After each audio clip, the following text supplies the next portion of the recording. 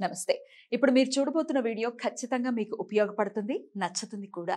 మరి మీకు నచ్చిన విషయం నాకు తెలియాలి అంటే ఈ వీడియోని మీరు లైక్ చేయాలి షేర్ చేయాలి అలాగే మన ఛానల్ని సబ్స్క్రైబ్ చేయాలి. మీ సపోర్ట్ని నాకు అందిస్తారు కదా? ఓకే ఇప్పుడు వీడియోని స్టార్ట్ చేద్దాం. నమస్తే వెల్కమ్ టు అవర్ ఛానల్. నేను పద్మిని. ప్రస్తుతంతో పాటు ప్రముఖ ఆధ్యాత్మికవేత్త సూర్య ఉపాసకులు Sun Spiritual Society founder Vikramaditya garu ఉన్నారు. మాట్లాడతాం నమస్తే సార్. సూర్యోస్మిమ. సార్ పరమ ఏకాదశి వస్తోంది. మొన్న ఈ మధ్య పద్మిని ఏకాదశి అయిపోయింది. మరి పదిహేను రోజులు అయింది కదా మరి. అధిక మాసంలో వచ్చేటటువంటి బహుళ పక్షంలో వచ్చేటటువంటి ఏకాదశిని పరమ ఏకాదశి అని పిలుస్తారని మనందరికీ తెలిసిన విషయమే. అయితే ఈ పరమ ఏకాదశిని ఎలా వినియోగించుకోమంటారు?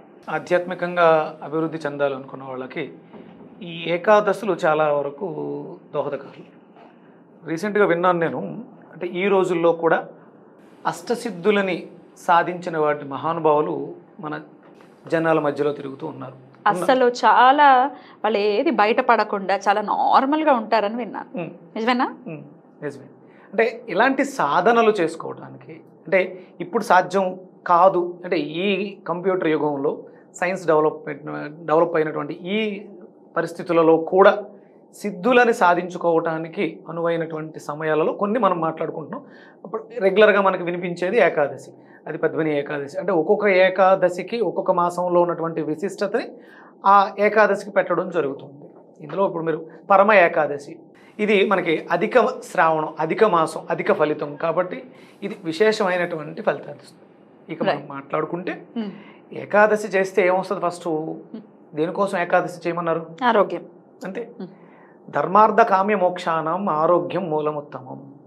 అంటే మీరు మీరు ఎంత ఆరోగ్యంగా ఉన్నారో అంత ధర్మ అర్థ కామ్య మోక్షాలని చేరుకోగలుగుతారు. ఆచరించగలం ఫస్ట్ కదా? ఏది ఏది చెయ్యాలన్నా ఇక్కడ లంకణం పరమౌషధం. ప్రతిదీ కూడా ఆయుర్వేద పరంగా ఆయుష్ ఆయుర్దాయము ఆయువు మీద ఆధారపడి ఉంటుంది.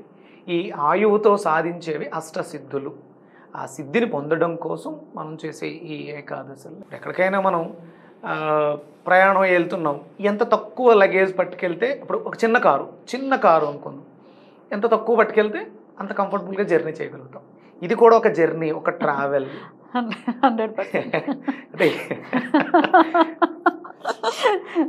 డిగ్రీలు తగ్గి కిందకు వచ్చి అంటే చాగంటి చాగంటి కోటేశ్వరరావు గారి డిగ్రీల దగ్గర నుంచి కొంచెం కిందకు వచ్చి టెన్త్ క్లాస్ లెవెల్లో ఎస్ఎస్సి లెవెల్లో మాట్లాడుకుంటే మనం జీవితంలో మన కంటి ముందు కనిపించేవే మనం అనలైజ్ చేసుకోవాలి.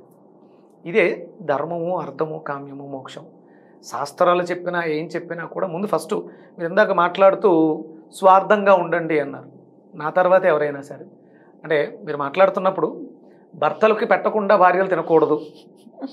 భార్య అంటూ ఉంటే ఆరోగ్యంగా ఉంటే ఆ భర్తకి రుచికరమైనటువంటి వంట చేసి పెట్టగలుగుతుంది కదా. కరెక్ట్. మీరు అన్నది కరెక్టే. మీరు ఆరోగ్యంగా ఉంటేనే ఇంటి ఇల్లాలు ఆరోగ్యంగా ఉంటే కడుపు మంట కడుపులో మంట లేకుండా ఉంటే ఆ భర్తలు బాగుంటారు. కడుపు మంట ఎందుకు వచ్చింది? గ్యాస్ట్రిక్ వల్ల. కరెక్ట్. దాన్ని బట్టి ఇప్పుడు రాలేదనుకోండి ఆవిడ కడుపు మంట ఏం ఉండదు. కడుపులో మంట వల్ల కడుపు మంట ఎందుకు వచ్చిందంటే ఇంకా రాలేదు. ఈడు వస్తే చినేసి పడుకుంటే నేను తిందును కదా అంటూ తోముకుందును కదా ఉంటుంది కరెక్ట్ సార్ కరెక్ట్ అయితే చాలా మంది చేసే తప్పు ఇదేనేమో అని అనిపిస్తుంది. ఎందుకంటే మనం వాళ్ళ కోసం ఆలోచించడం తప్పేం లేదు. మనల్ని మనం లాస్ట్లో పెట్టుకుంటాం. ప్రయారిటీ ముందు మనకు ఈ దేహం అంటూ ఉంటే కదా. మనం నేను ఒక యాంకర్ అవ్వటమో మీరు ఒక గెస్ట్ అవ్వటం అసలు ఉండాలి కదా. ఏదైనా సరే ముందు ఫస్ట్ ధర్మము అనేది ఉంది. అది శరీర ధర్మం నీ ధర్మం. నీ తర్వాత ఏదైనా సరే నువ్వు ధర్మం చేయడానికి దానం చేయడానికి నీ దగ్గర ఉండాలి కదా. అందుకని దాన్ని సంప్రాప్తించుకోవడం కోసం ఈ ఏకాదశి ఉపవాసాలు అనేవి చేయడం ద్వారా అంటే ఉపవసించడమే. ఉపవసించడం అంటే కడుపు మార్చుకోవటం లేకపోతే స్తోత్రపారాయణాలు చేయటం కాదు. మన దేహమే దేవాలయం. ఈ ఈ ఈ దేవుడికి మనం నివేదన చేసేది ఏంటంటే ఎంటీనెస్ ఖాళీ పూర్ణత్వాన్ని ఇవ్వగలిగితే దాంట్లో ఒక శక్తి వస్తుంది. అది మిగతా పదిహేను రోజులకు ఉపయోగపడుతుంది. ఇక్కడ పరమ ఏకాదశి కాబట్టి పరమ నిష్ఠా గరిష్ఠులమై. ఆహారాన్ని త్వజించి అంటే మనల్ని పాడు చేస్తుంది కాబట్టి దాన్ని త్వజించాలి అంటే చెప్పేయచ్చు మీరు విష్ణు సహస్రనామార్చన చదవండి లేకపోతే లలిత చేయండి ఇంకోటి చేయండి. ఏంటి లాభం? లోపల జీవుడికి ఆ జీవాత్మకి ఇవ్వాల్సినటువంటి శక్తిని మనం ఇవ్వట్లేదు. ఆ శక్తిని ఇవ్వడానికి ముందు ఫస్ట్ ఖాళీ ఎంటీనెస్సే ఏకాదశికి మెయిన్ ప్ర ప్రత్యేకంగా కేటాయించబడింది భగవంతుడికి ఒక అవకాశం. నీ లోపల ఉన్నటువంటి జ్యోతిష్వరూపుడికి జ్యోతికి ఆత్మజ్యోతికి సమయాన్ని కేటాయించు. అంటే ఏం పెట్టొద్దని. అది నిర్జల ఉపవాసం అని ఇలా చేస్తుంటారు. జలంతో అంటే ఇప్పుడు అనారోగ్య పరిస్థితుల్లో ఉన్నారు అందరూ కూడా. మాకు మాత్రలు మందులు దీని గురించి మాట్లాడతాం. ఒక్క రోజుకి ఏమీ కాదు. ఇంతకు ముందు కూడా నేను మాట్లాడాను. ఏమన్నా అవకాశం ఉంటే కొంచెం కొంచెం ఫ్రూట్స్ పలహారాలు తీసుకోండి. మీరు ఆ స్థితిలోంచి ఆ మెడిటే మెడిసిన్స్ లేకపోతే మందులు ఈ బరువు భారాల్లోంచి బయటకు రావాలంటే ఒక్కరోజు కొంచెం తేలికపాటు. చేసుకోవచ్చు. షుగర్ ఉన్న వాళ్ళు కూడా? ఎవరైనా సరే. అంటే భయపడిపోతారు కదా సార్? టైం టు టైం తినేయాలి లేకపోతే షుగర్ పెరిగిపోతుంది ఇట్లా భయపడతారు కదా. అమ్మా అరే షుగర్ ఎందుకు పెరుగుతుందంటే ఉమ్, తినటం వల్ల పెరుగుతుంది కదా. కార్బోహైడ్రేట్స్. మీరు ఇలా తినకండి ఇలా తినకండి వాళ్ళు కూడా చెప్తున్నారు సమయం. మీరు ఎంత తక్కువగా తింటే మంచిది ఎంత లే ఆ తేలికగా అరిగేవి తింటే అంత మంచిది ఆ కార్బోహైడ్రేట్స్ ఏవైతే ఉన్నాయో అవి తక్కువగా ఉన్నవి తింటే మంచిది అని చెప్తున్నారు. అలా కూడా మీరు తినండి తగ్గుతుందంట. షుగర్ ఆ, మీరు ఫుడ్ తినకపోతే లో షుగర్ వస్తుంది. లో షుగర్ అవుతుంది. షుగర్ షుగర్ పడిపోతుంది అనే భయం ఉంది. ఎందుకంటే మీరు మందులు తీసుకుంటున్నారు. మందులు తాలూకు దుష్ప్రభావం శరీరం మీద పడుతుంది కాబట్టి మీరు ఇక్కడ పదార్థాన్ని ఏదో ఒకటి తీసుకుని తీసుకోవాలని చెప్తున్నారు. కానీ అదే మనకి ఆ ఇంటర్మీడియట్ ఫాస్టింగ్ అనేది ఏదైతే ఉందో పదిహేను గంట పదహారు గంటల గ్యాప్ అదే మనకి ఆరోగ్యాన్ని ఇస్తుంది. ఇక జలాన్ని తీసుకుంటూ ఎసిడిటీ పెరగకుండా ఉండడం కోసం లవంగాలతో లవంగాలు వేసి గోరువెచ్చటి నీళ్ళలో లవంగాలు వేసి ఆ జలాన్ని వాడటం. ఎసిడిటీని తగ్గిస్తుందా? ఓకే. అంటే రిలీజ్ అవుతుంది. మనం తినటం అలవాటు చేసాం కాబట్టి. మీరు రెగ్యులర్గా చేస్తూ ఉంటే ఒక మూడు నాలుగు నెలల తర్వాత Hmm. ఆ టైంకి అది రిలీజ్ అవటం మానేసి వాళ్ళ ఏకాదశి ఎంజైమ్స్ రిలీజ్ చేయకూడదు. మనం ఫుడ్ తీసుకోము అనేది బ్రెయిన్కి ఇన్స్ట్రక్షన్స్ వెళ్తాయి. దాన్ని బట్టి మీ శరీరం మీకు తగ్గట్టుగా మారుతుంది. దట్ మీన్స్ ఇప్పుడు మీరు ఉపవాసం చేస్తున్నారు మీకు గ్యాస్ట్రిక్ వచ్చేస్తోంది ఇట్లాంటి సమస్యలు వస్తాయి కాబట్టి ఆ టైంలో గోరువెచ్చని నీళ్ళు లవంగాలు వేసుకుని అంతే. అంతేనా? అంతే. ఇన్ని సార్లు అని ఏమైనా ఉందా? లేకపోతే ఎన్ని సార్లు అని తాగచ్చా? మీకు అనిపించినప్పుడు అలా ఆకలేస్తుంది. అంటే రీప్లేస్ చేయాలి వేరే ఏదో పంపించాలి. దానికోసం అప్పుడప్పుడు కొంచెం గోరువెచ్చ మరి ఎక్కువ నీళ్ళు లీటర్లకు లీటర్ల నీళ్ళు తాగకూడదు ఓవర్ హైడ్రేటెడ్ మనకి అడుగుతుంది.